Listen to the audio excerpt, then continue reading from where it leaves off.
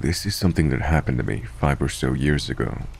I was fresh out of university with my degree in international development.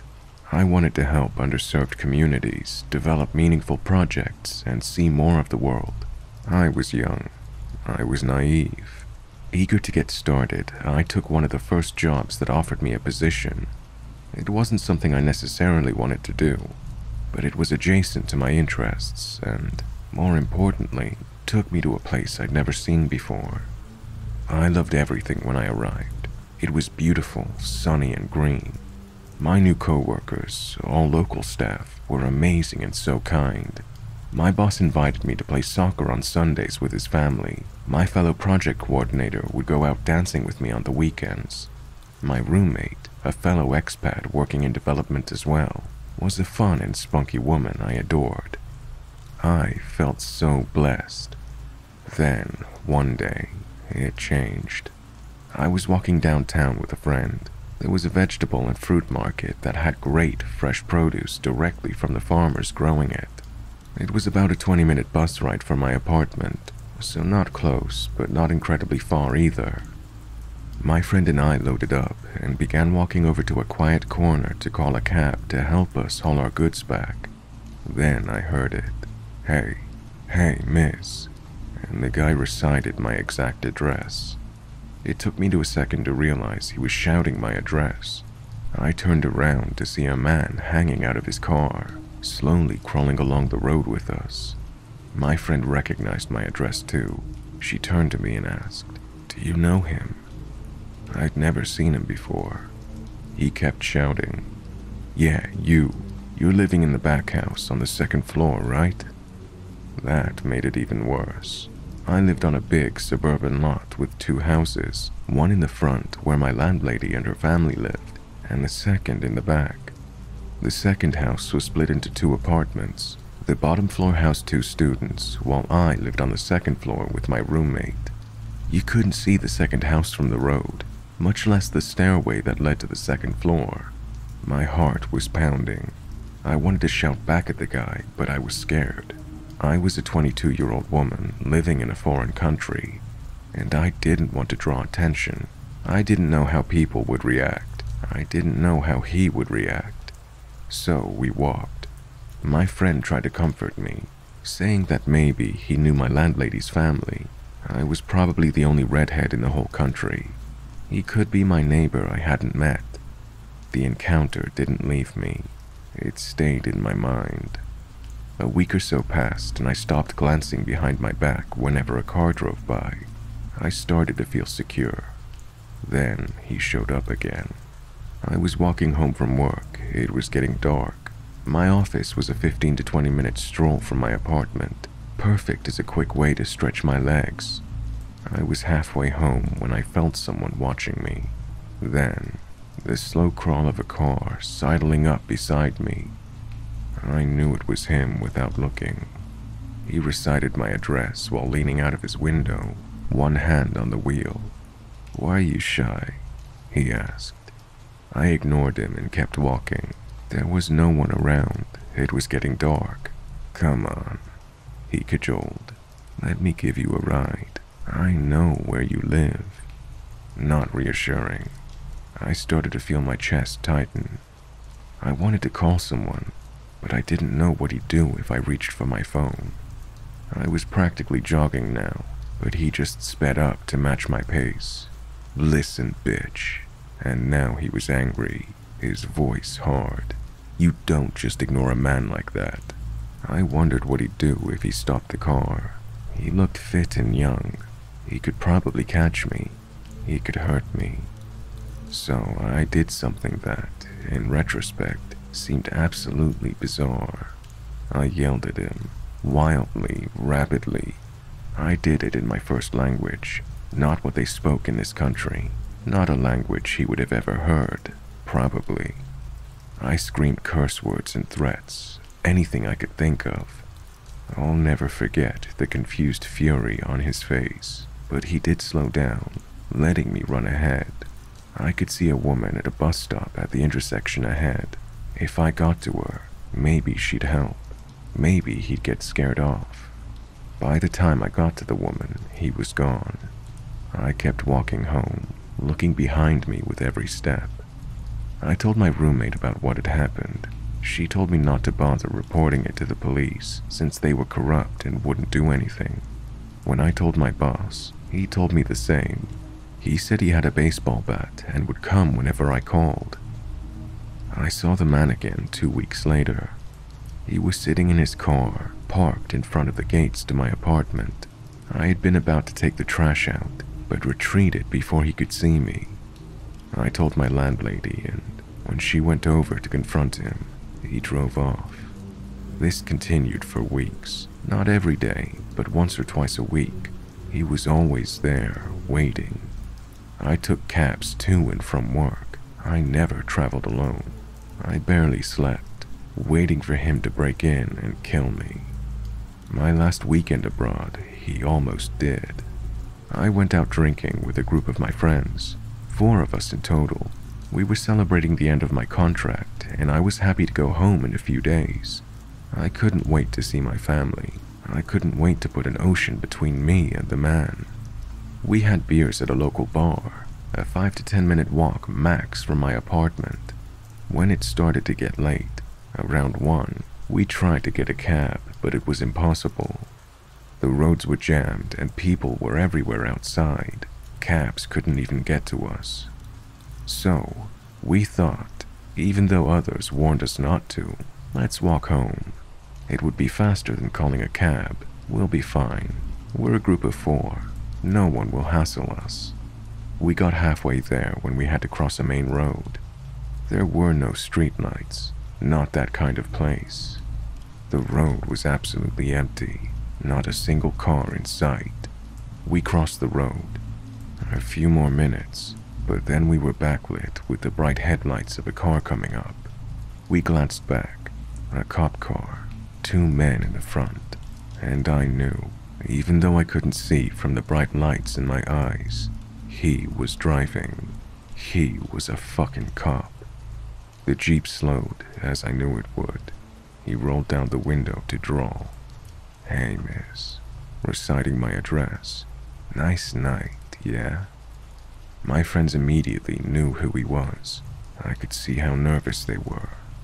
We were alone on a dark, empty street in the middle of the night. They were cops, so they were armed. No one would intervene, probably. It was too dangerous. You girls need a ride, he leered.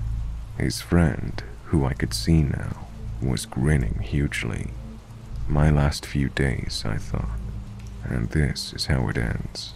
We sped up our pace. I don't know what our plan was, other than to get away. Then I heard one of the doors of the Jeep open as the passenger jumped out. I don't think I've ever been so scared in my life, although I didn't dare turn back to see. We were at the turn to my street now, two minutes more to get to safety. The car was right behind us. Whoever had gotten out of the car was right behind us. Two of my friends were now ahead, while another clutched my hand and dragged me along. Then, out of nowhere, another car appeared. They were coming from the opposite direction, illuminating us all. When they slowed to see what was going on, I've never been so grateful. It was an older couple, and they looked concerned. I think they knew something very bad was about to happen. I heard, not saw, the car door swing open. I almost got hit as they sped past us in a hurry. The other car stayed, watching. They offered to escort us home, driving alongside just in case, but I knew he wouldn't come back. Not tonight. I still took a cab with my friends to their place for the night. We took my roommate with us, just in case. Nothing happened after that. My last two days were uneventful, although I couldn't shake the feeling that he might show up at any given moment. Driving to the airport, all packed up and ready to go home, my cab got pulled over by a cop. My stomach dropped. I couldn't breathe. It wasn't him, although it could have been. It wasn't until I got on the plane, until I landed in my home country, that I finally felt that terror leave me. I still get nervous when cars drive up behind me, when men roll down their windows to shout at me. It's never him, but still, you never know.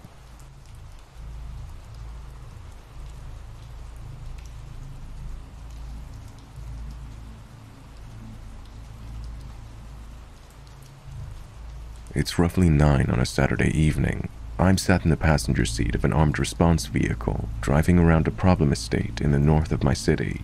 In the driver's seat is Adam, a close friend and experienced firearms officer with seven years on the unit. All is well at this moment.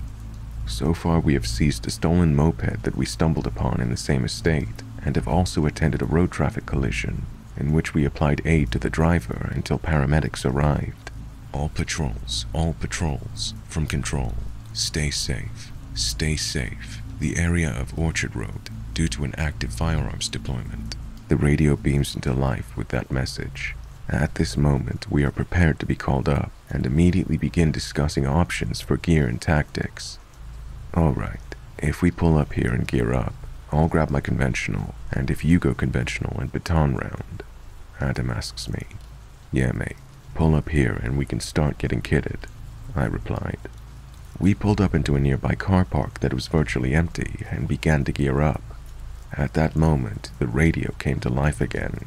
TFC, TFC, all hotel units. Can I have you moving to the area of Orchard Road, please? Switch to TAC Ops 1 for brief. We are at this point sat in our cars listening to the brief. We switch our radios over to TAC Ops 1 channel and wait. There is silence.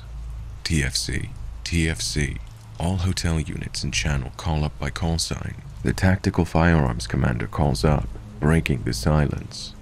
Following this, units begin to call up. Five others in total, along with a dog van. Hotel Sierra 3-1. I called into the radio. All hotel units from the TFC. This job pertains to multiple logs between 2030 and 2045 hours regarding an address in Orchard Road.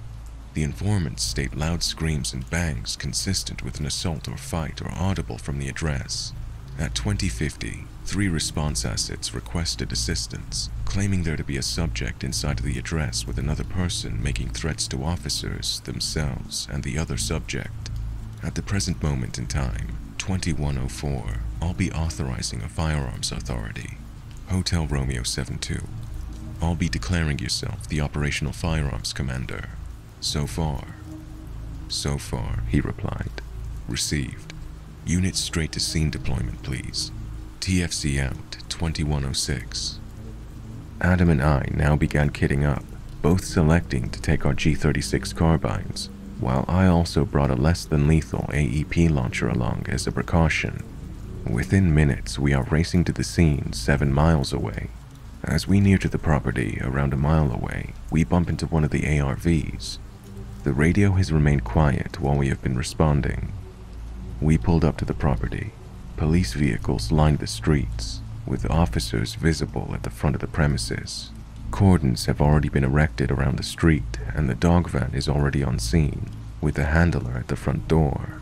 3-1, we're State 5, I said onto the channel, letting them know we had arrived. We pulled up onto the curb. I stepped out, quickly being approached by a response officer who began to brief me on the situation. Hello, mate. We've got two females inside of the premises that we know of, one of which is holding the other one hostage. She's barricaded them in and is making threats to us and the hostage. The dog handler has been putting challenges in. Unfortunately, no progress has been made as of yet, he said to me. Right, okay. Have we got containment with tasers and knowledge of anybody else inside? I replied to him. Yeah, we've got taser officers on the back and front door. We've checked, and there are no other methods of escape, unless she feels like jumping out of a window. And they're covered too. And we've not seen anybody or heard anybody mentioned, so we're unsure right now, he said. Adam and the two firearms officers from the other vehicle now joined us, as we stood beside our ARV being briefed. I turned around, facing the other firearms officers, asking them, You lads hear all that? Each replied yes via nods and words to the effect of that. Okay, what do we think? Contain and call out, maybe try and get a negotiator. I asked them. Well, if we try and get negotiations going now, obviously if this escalates, we'll go for an emergency search. One of the officers chimed in. Yeah, I agree with that, I commented, as the remainder of the officers also added their approval in. Right, let's go in, gents. We've still got about four ARVs towards anyways, so we can update them. But let's sort ourselves out, I now said. All right, I'll update control if you lads want to go up, Adam replied. I now walked up to the front of the house, followed by the two firearms officers. About eight officers were positioned around the front, two with their tasers drawn, while the dog handler stood holding his dog, ready to deploy him. The other officers were positioned in cover, with one attempting to speak to the subject. Hello, we're already briefed. If none of the TTOs want to get back for us, please. Four of the officers, minus the two officers with taser, dog handler, and the officer attempting to speak to the subject, now walked back from the front, allowing us space. I now peeked through the window, seeing an open door that led to a well-lit kitchen, in the doorway of which were two figures, who I could identify to be about five foot roughly, one of which had its arms around the front of the other, and an object in front of their throat, S and V. The rest of the house, minus the kitchen, was pitch black, and I could hear whimpers and crying clearly coming from the person with something to their neck through the open window.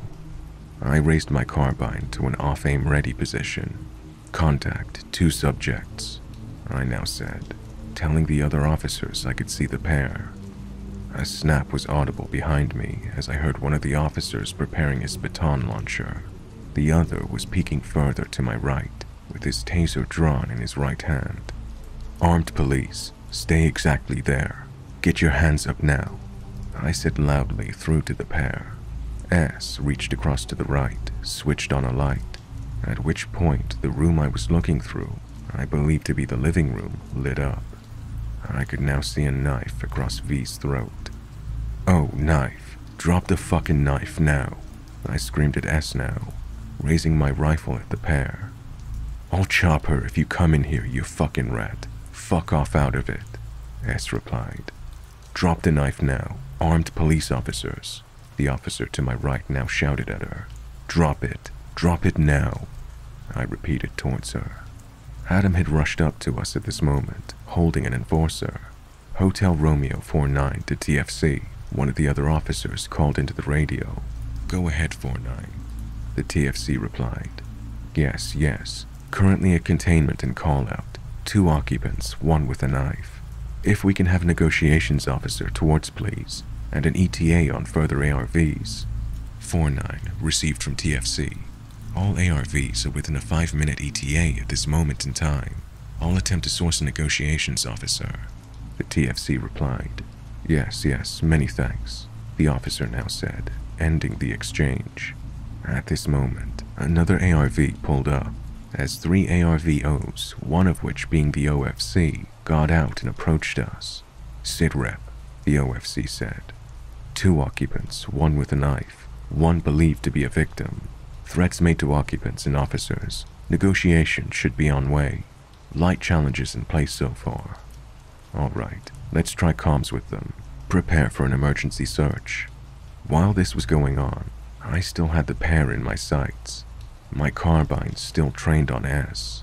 Can we get a shield on this side to cover us? And maybe one with long arm, one with launcher, and the shield guy with sidearm or something, I suggested.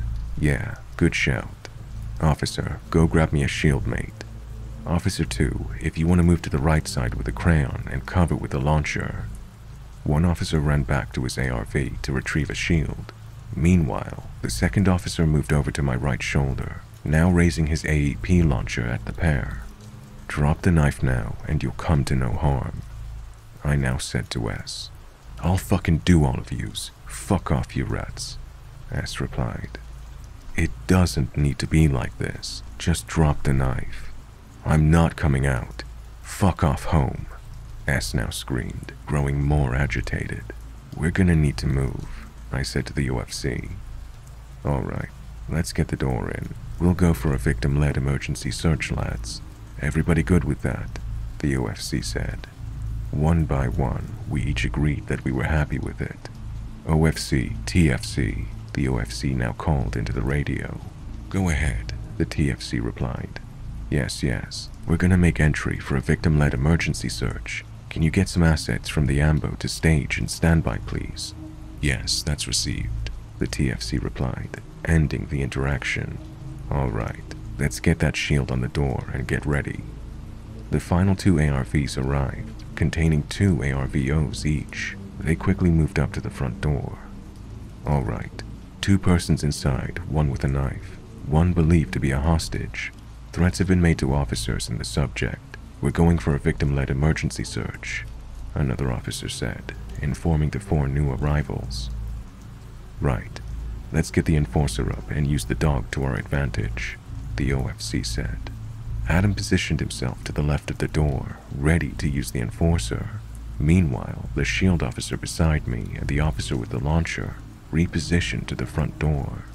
I repositioned behind him, still holding my rifle. Behind me was an officer with a taser, and behind him was an officer with a lethal option. Another officer with a launcher moved to the window we were previously stationed on and continued to hold cover on them. Meanwhile, another officer stood to the side of the door, ready to deploy the stun grenades. Adam slammed the enforcer into the door repeatedly. As he did this, the door appeared to begin to give way. Armed police! Armed police! The shield officer shouted as the door continued to be hammered on. The door swung inwards violently as it had been hit to breaking point. Door, Adam said, indicating to anybody who may not be looking that the door was now in. He then dropped the enforcer and moved onto the back of the stack, unholstering his sidearm. Armed police! Armed police! Any persons inside of the premises, show us your hands, the shield officer shouted as we moved into the doorway. The OFC and four other officers joined the stack as we did this. Two officers broke off to the left, holding at the bottom of the stairs. Meanwhile, another officer moved to the very bottom of the stairs, covering them, while the shield officer moved into the doorway of the room I'd been looking through. Contact, the shield officer shouting as he saw S. She was alone with her hands up. As I moved up now, I also saw her. Armed police, stay where you are now, hands on top of your head, I shouted, giving her an initial command. The officer with the taser behind me moved to my right, red dotting her with his taser. S lifted her hands onto her head, staying stationary. Interlock your fingers, I now instructed her. S interlocking her fingers, shuffling a bit. Right, slowly begin to walk towards us. If you make any sudden movements, you'll be tasered. Start walking when you're told. Can somebody with a launcher move up on our right, please, lads? I said, asking for somebody in the stack. The sixth officer in the stack, holding a launcher, now moved up onto the right of me and the officer with the taser. All right, cover on, he said, indicating he had a shot on her. Right, start walking. S began to take small steps towards us, her hands still on her head, looking straight at us. As she did this, the laser from the taser being pointed at her bounced around her torso. S was now four feet or so from us. Stop there. Turn around. S complied, stopping in her tracks, turning around. Walk backwards to the sound of my voice, slowly. S now began slowly walking backwards. As she did this, Adam moved up behind us, holding his cuffs. Stop there, I instructed S, as she was now pretty much right next to us. Adam moved the cuffs into our view to let us know he was about to move up and restrain her before moving between us up to her and restraining her. He then moved her back and out onto the street before returning back onto the stack. We advanced to the next door, as the room was cleared by the last three on the stack. As we moved up, we could see V on the floor. She did not appear to be injured, however, was crying and clearly terrified.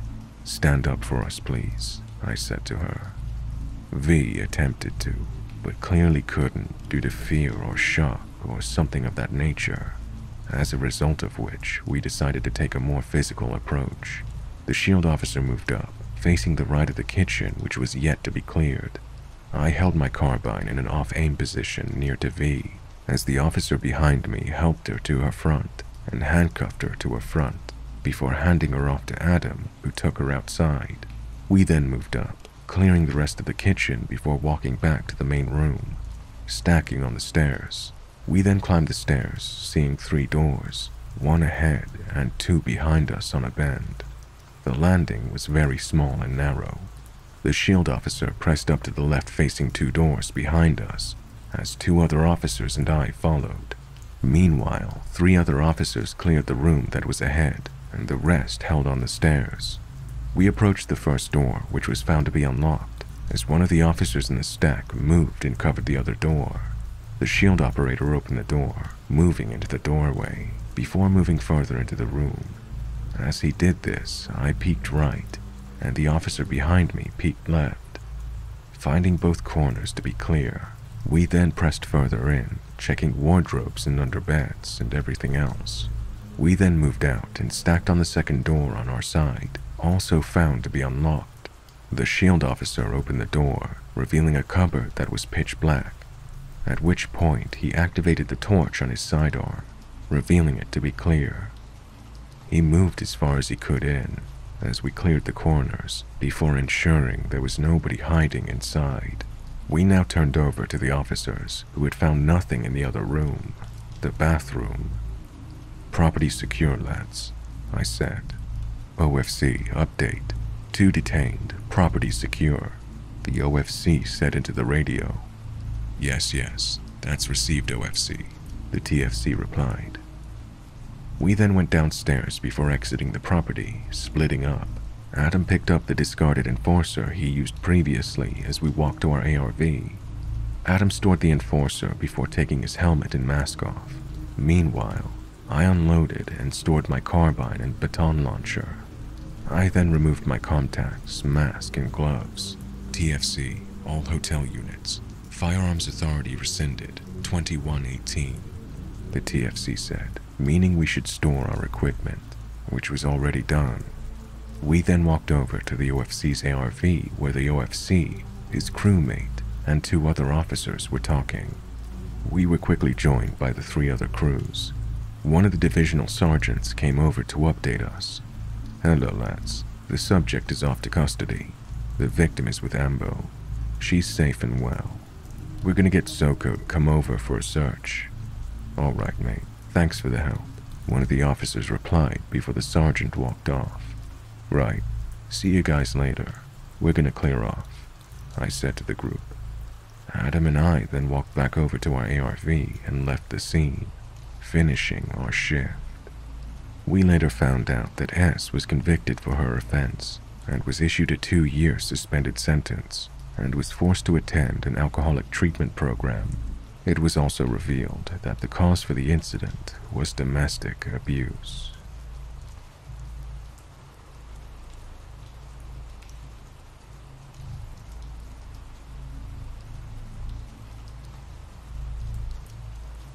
Alright, I live in a major city in the south. It's a pretty big city, and as such, one finds themselves driving everywhere at all hours of the day. This is not an elaborate story, nor typically terrifying, but there's enough left unanswered that it still gives me the creeps to think about. It was around 1.30 a.m., and I was driving home from a friend's house with my then girlfriend, Allison. We'd been partying a bit, but as I was driving, I opted to maintain sobriety. Allison had a few drinks, but nothing serious, and over the course of several hours. Now, the house I was leaving is not in a particularly bad neighborhood, but not a good one either. The city where I live, there are lots of gentrified areas where crack dealers live next to four-person families. It's a place where you are fine in the daytime, but you wouldn't want to be walking the streets alone late at night. Being familiar with the area, I decide to take a little cut-through street. As I pull onto the street, I end up at a stop sign. I look behind me, and there's a truck that pulls out of an adjacent road behind me to my left. I move forward from the stop sign, and he continues to follow me. I think nothing of it. The road doesn't have many street lamps, so it's pretty dark, and I can't get a look inside the truck's cab.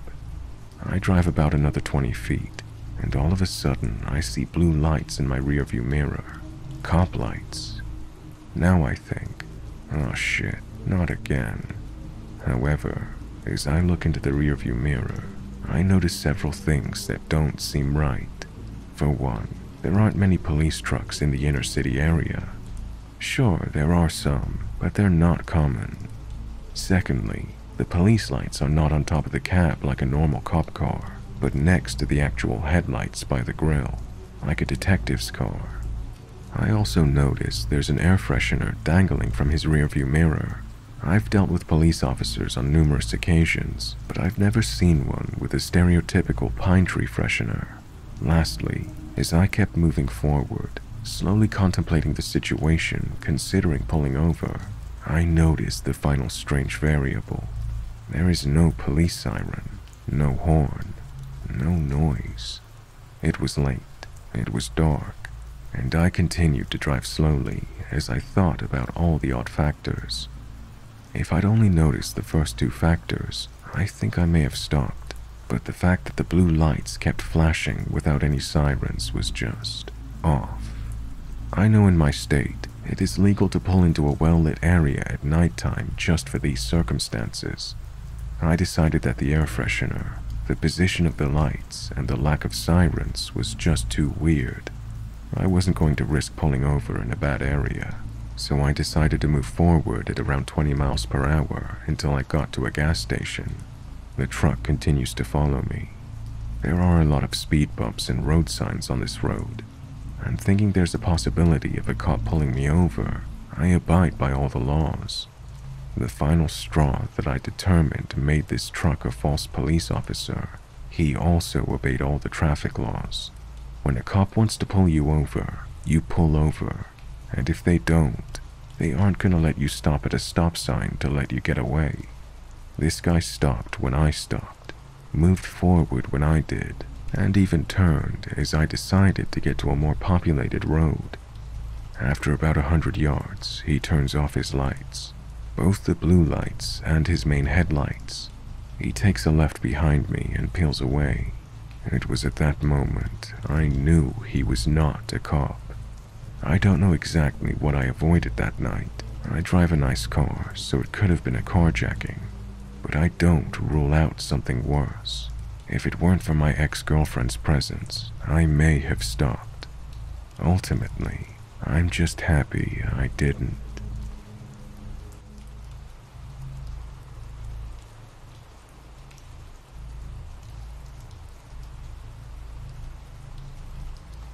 This happened almost a decade ago when I was 13 years old. I remember my friend and I were excited about our first time trick-or-treating without our parents. We lived in a small town where nothing ever happens, and we thought it would be the same that night. It started like any other Halloween night. We collected candy, ran into many of our classmates, and had a lot of fun. At 8 p.m., we realized we had to head home, but on the way back, we dropped by our teacher's house. She wasn't home, and the street didn't have many street lights. To add to this, most of the houses had their lights turned off, and their Halloween decorations were taken down. My friend and I were slightly spooked and disappointed by the lack of candy. We wanted to get out of the street as soon as possible. That's when a man emerged from under one of the few street lights. It was a police officer. Neither of us seemed to notice him before this, possibly due to the darkness. He startled us, but seemed very friendly. The cop introduced himself and pointed to an inconspicuous bungalow. He said an older man living in this house was inviting trick-or-treaters inside. Someone called the police, but when he arrived, no one was answering the door. He kept telling us his police car and partner were just around the block. We looked around but couldn't see them. I was a pretty paranoid kid, Growing up, my mom loved watching crime shows, and she'd always tell me tidbits of lessons. One of these was a story about fake cops, although I don't remember the details. I remembered people can pretend to be police officers to gain trust. Throughout this whole exchange, I was terrified. His lack of badge, police car, and partner did not feel right. I was also conflicted because he was smiling and seemed like he just wanted to help. That was until we heard his strange request. He said he needed to speak to this potential predator and needed our help. Since we were young girls, the man would answer if we knocked. The officer claimed he would hide behind the bushes next to the front door. He would wait for him to invite us in, jump out, and catch him red handed. At that moment, I knew my friend felt the same way I did. We both fell silent, but one of us managed to ask if we could discuss. The cop said yes, but told us we had limited time. The street was silent. He could hear everything. I remember feeling the way of wanting to say something, but fearing he would hear us and escalate the situation. We just stared at each other for what felt like forever. The cop was getting increasingly impatient and told us we had to decide quickly. Around that moment, a family came down the street and noticed the officer. They were coming over to see what was happening.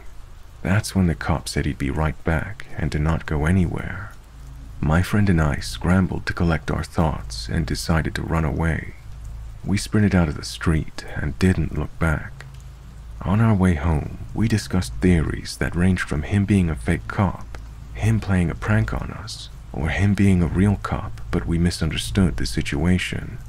When we told our parents, we downplayed it a lot and doubted our experience. In the end, we didn't call the police, but our dads drove to that house and the area around the house. There were no cop cars or police officers in sight.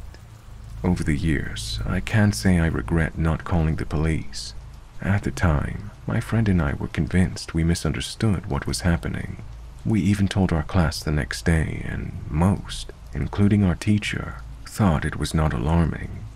Looking back, I find it extremely strange a police officer would put two children in such a potentially dangerous situation, moreover, with our parents not present. I wonder what his motives were, but it will, unfortunately, remain unsolved.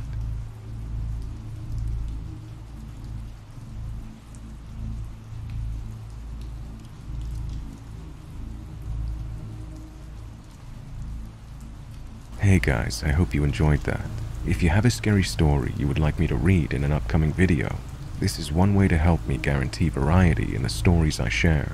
You can email me or post it to my subreddit. I'll drop the details in the video description.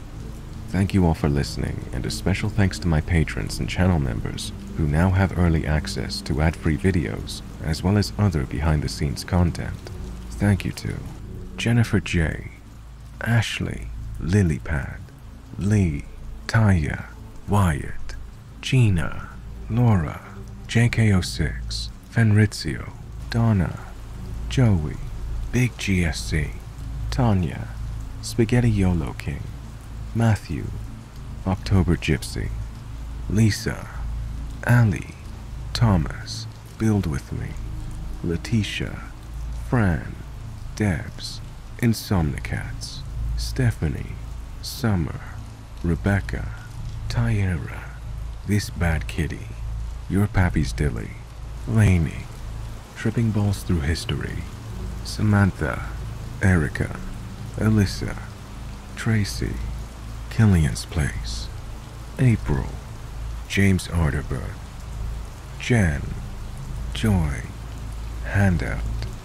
Pegasus Genesis, Karen Keating, V. Berry, LJ, Fiona X Fox, Scott, I Like Booty, Monica Level Ace, Chris and Donna, Holly Spry, Kimber, Jasmine, Sanatix, Heather Haven, Kitty Cat Luna 2, ADHD Aurora, Janice, Cinderella Baby, Borderline Betty, Lady Dracod, Erica Nicole, Snowball Rathina, Melanie, The Honeybee 987, Pretty Girl 215, Ryan, Brooke, Wendy, Crafty Cal, Tina, Dina, Vampy Debs, Patricia, Amber, Krista, Brenda, Absinthe Alice, Christy, Kay, Spider's Web,